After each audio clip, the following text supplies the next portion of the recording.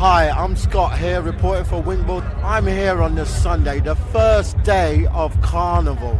I'm just going to be heading down to Meanwhile Gardens where they do have a family event every year. I'm going to go down there and check out the family vibe, speak to a couple of people and see what they have to say. My parents brought me many years ago. It's carried on the tradition. Um, carnival is very important, I think, anyway, for the community, especially most recently.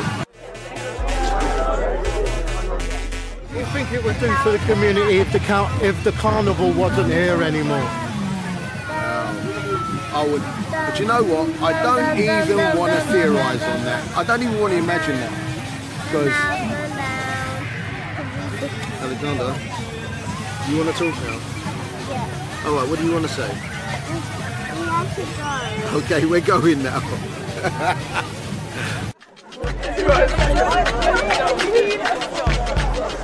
everyone's smiling. It's like no one's really upset. So like when you see other people smiling, you want to become closer friends with them, and you just yeah. The No. music, the food, and just everyone coming together. Yeah, yeah, togetherness, have a little dance. It's a, it's a beautiful environment. The kids uh, enjoying the uh, atmosphere and so on and so forth. Yeah. Actually, I've been coming to the carnival since I was a child, so I'd say about nearly 40 years I've been here. But working at the carnival, I've been working in this very garden for 27 years.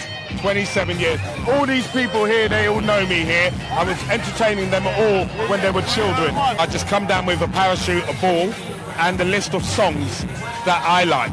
I play stuff from dance movies like Grease, Blues Brothers, Rocky Horror Picture Show, all of those movies that I like, and different dances from them I've got.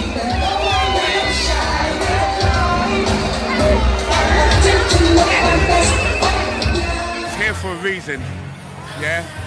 And that reason, you know, like in years to come, people forget why things were being done. I think we know why Carnival is here.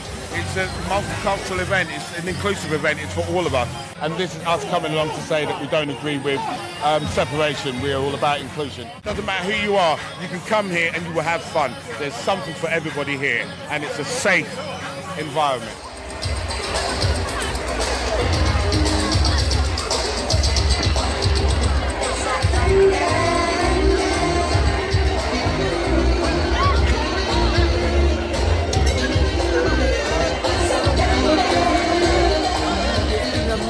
Day here at the Notting Hill Carnival and out for another year.